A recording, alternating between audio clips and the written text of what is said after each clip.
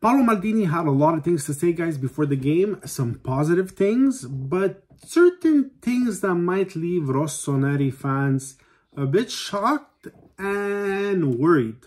Before we start, guys, hit the like button, hit the subscribe button, hit the bell for the notifications and the reminders. Welcome back to the channel, Galletto Rossonero. If you didn't get if you didn't get a chance yet, go watch the uh, preview video and the post partita as well. Some interesting things. Um, so what did Paolo Maldini say exactly today? So first of all, he talked about Bennacer. He talked about Leao, about the renewals. He said that for Bennacer, in the next 24, 36 hours, it should be announced. It's official. It's a done deal for him. They're moving forward together and he's happy about it. On the Leao front, he said that uh, there's willingness on both sides to continue working together. He said there's optimism around the deal. Um, and Leao always said that, that he was always happy at Milan. Milan is very happy with Leao. They're going to make an exception. They're going to offer him more money than their fixed salary cap. Uh, should be around 7 million euros. Will he accept? We'll see. But there's optimism around that deal. And he also gave a little shot to some ex-members, Donnarumma, Calhanoglu, and Kessie. He said that if you want to stay at Milan, at the end, you stay at Milan. And so, um, encouraging words for Leao, give a little shot to everybody else, and Bennacer is done.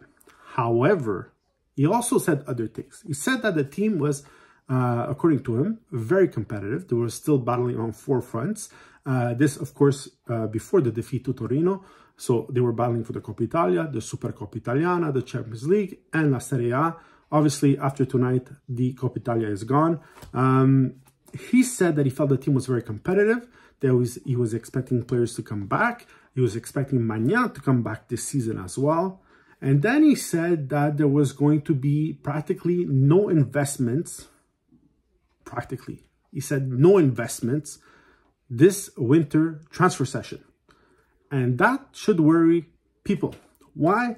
Because we saw again today that the right-hand side guys, Saelemaekers, Messias, although they're decent players, are not the players that bring the team to the next level.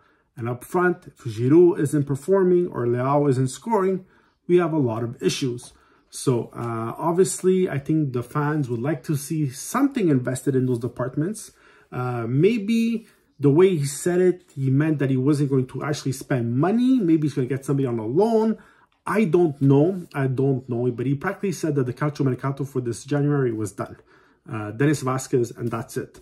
So, uh, worrisome because our good friend Jerry, Jerry Cardinale, when he bought the team, said that he would make the right investments to make the team better.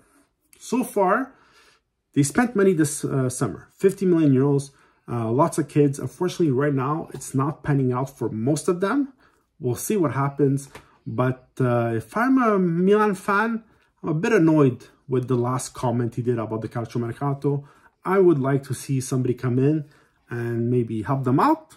Like I said, they're viewing a lot of different uh, kids or upcoming talents. We'll see what happens. Maybe they invest on a loan for six months. I think even in defense, they need somebody else. Gabbia, to me, is not it. Um, there's a lot of little holes this year. It's not quite the same team as last year. Uh, obviously, last year for the final run, everybody was practically back. This year, still a lot, of injuries, and uh, it's keeping us down, guys. So let me know what you think. Write in the comments, like and subscribe. Let me know what you think. Should Milan invest this January? I think so.